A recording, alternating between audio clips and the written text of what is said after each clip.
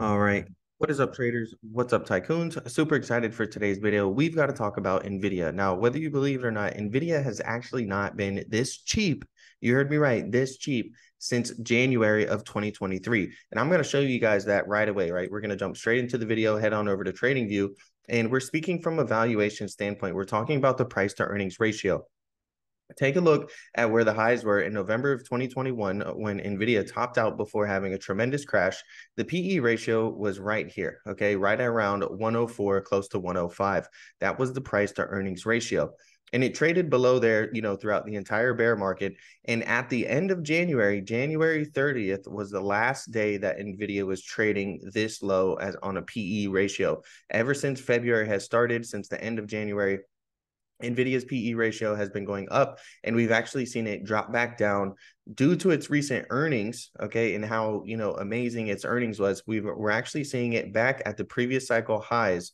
Okay, and also you know back at those levels that we haven't seen since January. So we need to dive into the charts a little bit more and really talk about what we're seeing here in the chart. So, um, you know, you can see there's a series of blue lines here. All right, these are going to be all anchored VWAPs, anchored to the most recent earnings reports. Okay, we're going to take this one off of here um, because this was our previous all-time high right? And we're just going to have them anchored to the earnings reports, right? The last three earnings reports, these are anchored VWAPs, and you can see we're trading above them. So, you know, there is a giant gap down to fill from its recent earnings. There's also a much smaller gap down to fill from its recent earnings. It's very possible that these gaps fill. Okay, but there's a lot of momentum behind this stock. And, you know, by the end of the year or, you know, later into 2024, I think that it's very possible we could see Nvidia in the 600s, right? Uh, right around 607 is going to be, uh, you know, the final bullish price target. I will, you know, once we hit up to those levels, we'll reevaluate. But you can see after breaking its previous all-time highs, we came right up here to the 1272 extension all right and we hit that level and now we're testing our previous level of resistance right the previous all-time highs as support so we're going to see you know can nvidia consolidate in here get another push to the upside. You know, if we break down uh, to the downside and we break below this 484 level, okay, it's very possible that, you know, we see NVIDIA come here and fill this first gap down. Uh, that's going to be right around where the anchored VWAP is from the last earnings, right? You can see here, if we were to just draw a little box and extend it out, you know, that's right around where that anchored VWAP is. And this is going to slowly gravitate more. So I wouldn't be surprised, you know, if we do break through that 484 area and we come down, this is going to be an area, okay, right in here, right around 440, where there's potentially going to be a lot of buyers stepping in, right? I mean, this is the stock that everyone is chasing right now. People that don't even know about the stock market and are just wondering what to get into.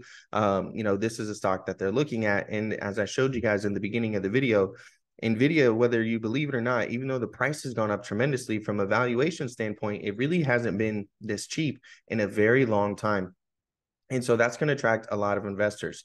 Um, now, not only does NVIDIA look bullish, right? We have some of its competitors here. You know, they also look good, right? I mean, AMD, um, if you've been following the channel, we talked about AMD having this giant cup and handle forming here. Um, you know, and so this is our cup right here, right? And we talked about getting an ABC correction to the downside.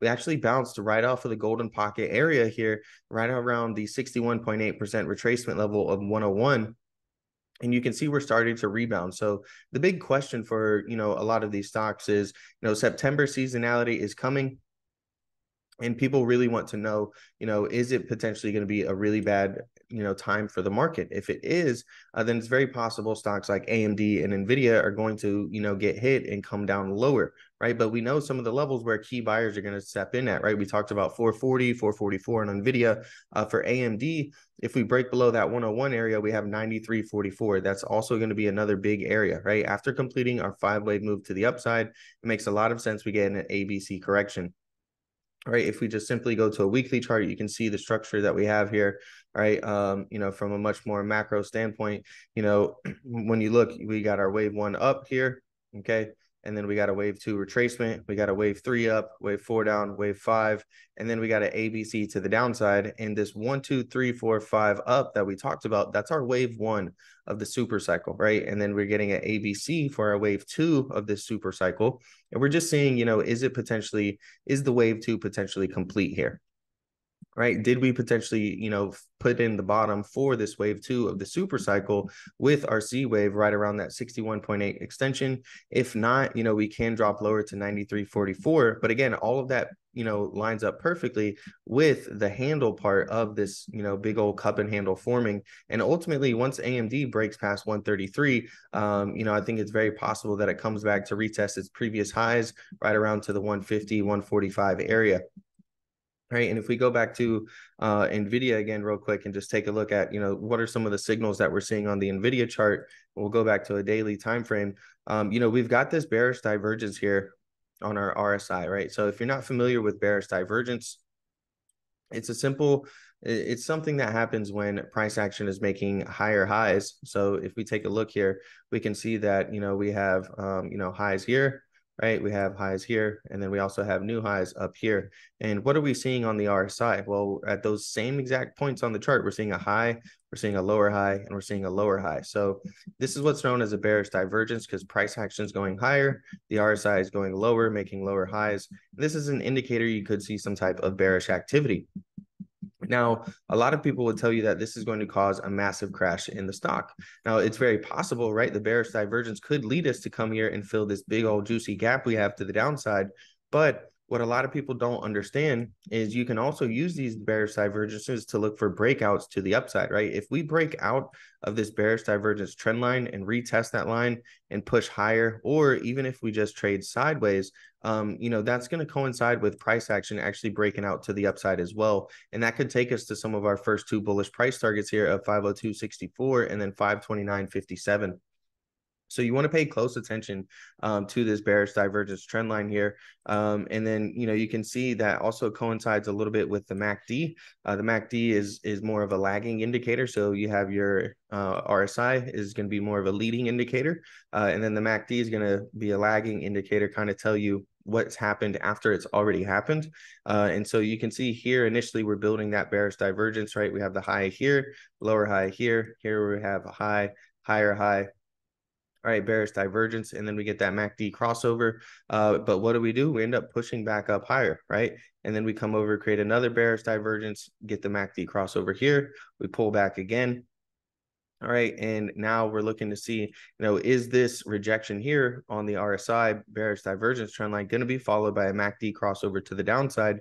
Uh, if so, then that's when we could potentially be getting this gap fill here and maybe even the larger gap fill over here. Uh, but if not, and we get a breakout to the upside of that bearish divergence trend line, then it's very possible we see the MACD white line stay up, up above the red line, and that's going to indicate bullish momentum. So let me know your thoughts on NVIDIA down below. All right, smash the like button, subscribe to the channel if you guys are new.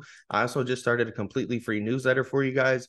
Uh, it gives out free trade ideas every single week and goes over valuable content. There's a link in the description as well as a comment section down below. Uh, there's also a website associated with it, so you can actually go back and read some of the previous newsletters, uh, puts it out in kind of a blog style. Um, but we talk about really good things in here, things that you're going to want to know if you're new to the stock market or whether you've already been in the stock market for a while.